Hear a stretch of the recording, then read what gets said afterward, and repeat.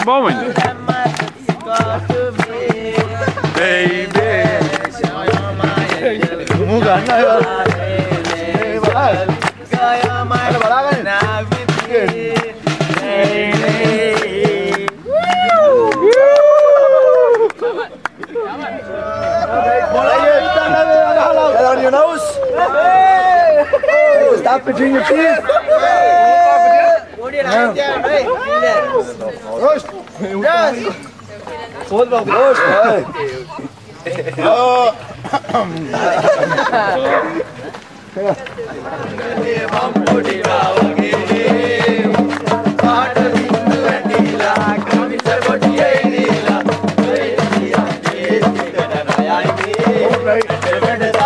Am Vormittag mit Katrin Müller-Hohenstein auf Antenne Bayern. Das ist äußerst mysteriös. Meine Damen und Herren, wo ist die Handballnationalmannschaft von Sri Lanka? Das ist die Frage, die sich die Menschen vor allem in Wittislingen im Landkreis Dillingen seit gestern stellen. Die Mannschaft hat dort am Wochenende an einem Turnier teilgenommen und dann war sie plötzlich weg. Letzte Spuren einer Nationalmannschaft. Beobachtungen in fünf Teilen. Sonntagabend habe ich noch eine Maschine voll Wäsche mit heimgenommen, damit wir den armen Buben auch noch was wascht, weil sie noch drei Wochen unterwegs sind. und bring dann die saubere Wäsche mit auf und dann sind die der Foot, dann sind die der Foot, dann sind die der Foot, dann sind die der Foot. Und hab dann eben am Montag auch das Frühstück hergerichtet, um 7 Uhr war ausgemacht. Und dann, ja, was achte, kommt halt heute nach Viertel neune, halb neune. Und dann haben wir uns langsam Sorgen gemacht. Und ja, und haben uns halt gesucht. Die erste Vermutung, die Nationalspieler haben sich beim Joggen im Wald verlaufen, denn ihre Turnschuhe und Trainingsanzüge fehlen. Der Turnierleiter. Dann haben wir zwei Jungs mit die Fahrräder losgeschickt Richtung Wald auf die Feldwege entlang. Ich selber bin mit dem Auto eine riesige Schleife gefahren um die umliegenden Dörfer, habe überall da die Leute ein bisschen gefragt. So kurz nach halb elf, da haben wir dann erst den Brief gefunden. Der lag auf meinem Koffer drauf und da stand halt drin, dass sie sich halt bedanken für alles, wir sollen ihnen nicht böse sein. Eva Grünbauer. Hallo und Servus zu 1730. Wir beginnen mit einem äußerst mysteriösen Fall. Und zwar ist in Wittislingen in Schwaben eine komplette Handball-Nationalmannschaft spurlos verschwunden. Es handelt sich um 23 Männer aus Sri Lanka, die vermisst werden. Christina Prüfer jetzt mit Einzelheiten. Hier war noch alles in Ordnung. Die Handballnationalmannschaft aus Sri Lanka vor ihrem Spiel gegen die Handballer des TSV Wittislingen. Doch seit gestern ist das Team aus Fernost verschwunden. Einzige Spuren, 23 Koffer und ein Abschiedsbrief. Wir lieben Deutschland, danke für alles. Besonders dubios, nach Angaben der Botschaft von Sri Lanka gehören die 23 Männer wohl keiner offiziellen Nationalmannschaft an.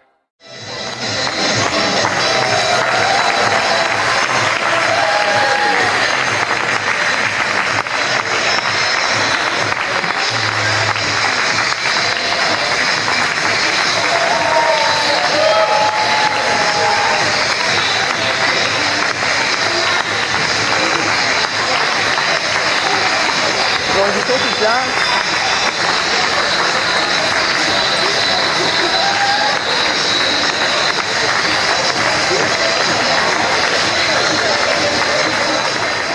Liebe Zuschauer, bitte Sie zu erheben.